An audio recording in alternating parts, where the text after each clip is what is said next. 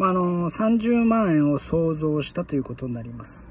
あの、TM ネットワークが30万円を創造したということになります。これね、あのフィクションですって言ってますから、えー、どこまで本当かわからないんですけど、フィクションを使ったフィクションと思ってください。この動画は、フィクションを使ったフィクションと思ってください。これはね、服部さんが、えそのフィクションの中で30万円なんかあるんでしょうねって言ってましたから、それの答えというか、ね。破産した政党が、まあ、実際は60万の収入があったことで、にして、さらに30万円出していますから、30万円のお金を創造したということになります。わかりますか？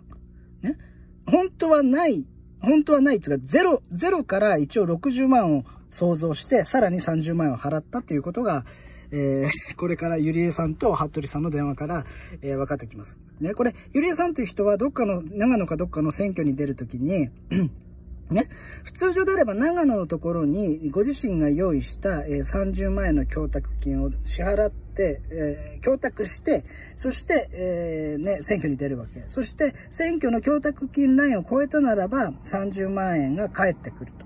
ね。で、プラマイゼロになるわけ。で、供託ラインを超えなかった場合は、あなたふざけて出ましたね。もしくは、えー、そこまで実力がなかったのに、えー、出たんですねっていうことで没収されちゃうわけ。ね。それが供託のシステムなの。ね。じゃあそれを、ゆりえさんは出すつもりでいたわけ。それが、な、なぜか知らないけど、M という人ね。で、その M という人の上には T という人がいますんで、これ TM ネットワークとしましょう。TM ネットワーク側が東京法務局の中に、あの、法務局に30万円立て替えたっていうわけ。ね、立て替えたっていうわけ。じゃあ、そのまま選挙をして、ね、供託金ラインを超えたならば、ね、法務局から30万円来ちゃうから、出してないのに30万円来ちゃうわけでしょ？ね。だから、あの、選挙に出出ただけで、出て、供託ラインを超えれば30万円来るわけでしょ？で、もともと、もともと自分で出すつもりって言ったわけでしょ？このゆりえさんっていう人はね。だから、それは変だから、あの、M、M とやり取りして、これを30万円、えー、お支払いしたわけ。ね。それを寄付だと TM ネットワーク側が言ってるわけでしょ？ね。寄付、寄付だと報告するためには、政治資金規正法上を、住所と氏名と職業が必要なわけ。これ、職業の話を言ってませんが、服部さんとこのゆりえさんという人はね、職業まで必要なの。すなわち、住所、氏名、職業を書いています。確実に。多分ね。ちょっと見てないけど。ね。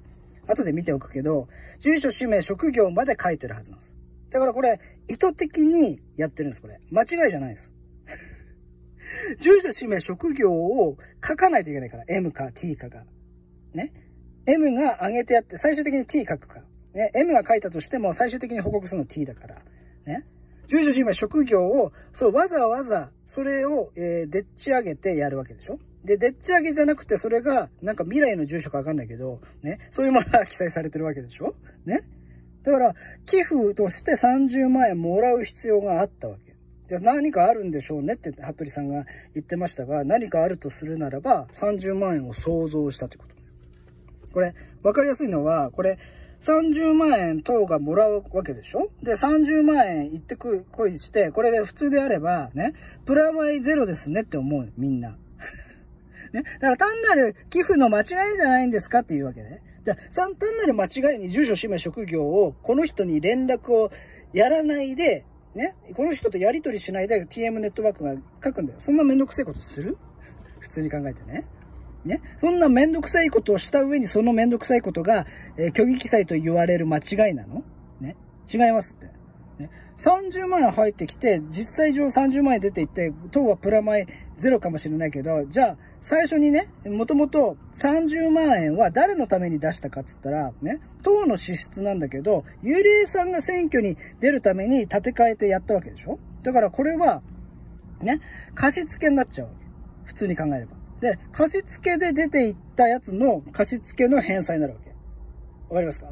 これ30万。すると、プラマイゼロなんです。その瞬間に。でもこれ、こっちの入りの方を寄付ってやっちゃったわけでしょ？入りの方を寄付にすると、えー、住所、氏名、職業が必要なんだよ。貸付の場合だったら、この入り、入りのか、借り、借りた分に関しては、だから、えー、借りた分に関しては、こっちのね、えー、ゆりえさんから来た30万に関しては、氏名と多分金額ぐらいでいいと思うんです。そっち、あのー、自由だから。ただし、出ていくこの30万円のやつは、ね、えー、その支払ったやつを、えー、書かないといけない。で、法務局って支払ったとしても誰のって言ったらね、このゆりえさんの住所と氏名とか多分必要になってくる。この人の供託金として払ったわけ。ね。で、それ、それじゃなくて、わざわざこの寄付の住所と氏名と職業、職業ね、これももしかすると、ゆりえさんに聞かないで勝手に書いてる可能性ありますが、それをやるとどうなるかっつうと、寄付として30万入ってくるでしょ？で、この出てくるやつは、残念ながらこれ寄付なんです。寄付としての支出なんです、これ。ゆりえさんの家。だそれ借金だと変だ、変でしょ？債務と債権の記録、えー、だから、あの、それ、それを相殺してやらないといけないんだけど、で、こっちの入りの方を寄付としたことにより、こっちの出の30万円の方も寄付にしないといけない。な、名目上ね。ということは、この寄付やるためには、合計60万必要だったわけ。この、この件をやることにね。60万あるの。で、そのうちの30万円が出ていっていますから、寄付としてね。寄付として出て行って、あと何も戻ってきてませんから、通常であれば、法務局からこう戻ってくればいいんだけど、それ戻ってきてないから、どういうことかっていうと、ね、30万円が想像されるんです。ゼロだったお金を想像できるわけ。ね。これやばいこと言ってますからね。破産してる政党なわけ。ね。ゼロから30万円を生み出してるんですよ。ね。生み出す必要があるんです。ゼロから。30万円をね。このファンタジー、えー、このフィクションには30万円を作り出す、そういうお金を創造するという必要が、必要性があるんです。ね。だからわざわざ寄付にしてるんですよ、これ。ね。で、虚偽記載までして、ね。虚偽記載までして。で、この虚偽記載を訂正しなければ、政治資金規正法違反。ね。訂正するのは誰かって言ったら大津屋かだから。これ今。今ね、大津屋かしか訂正できませんから。これ、わかりやすいでしょ ?30 万円が創造された状態になってるの。要は、破産した政党の財産が多く見積もられてるわけ。実態の金の移動上じゃなくて、要は党がお金を30万円生み出してるので、わかりますか？党がゼロから単に収支報告書上の中で収入を30万円膨らませてるので、ね、虚偽のこのゆりえさんと羽鳥さん言う、言うには、虚偽の30万円が収入として来てるわけだよ。破産政党の。ね。破産してしま、開始してますから、その前の行いでしょ、これ。ね。規制、虚偽記載してまでも30万円を生み出してんだよ。ね。破産政党が。それって、ね。どういうことですかって話。だから計画的に破産し、破産したんじゃないかっつってるわけ。私は。ね。30万円生み出してんですよ、金を。わかりますか？ね？ね？わかりますか？実態、実態上ないんだよ。実態上ないんだけど、収支報告上上に30万円の財産が乗っかってくるってわけ。ない、ないのに。現玉がないのに。ね？それなぜかって言ったらお金を想像したから。お金って債務と債権の記録でしょ？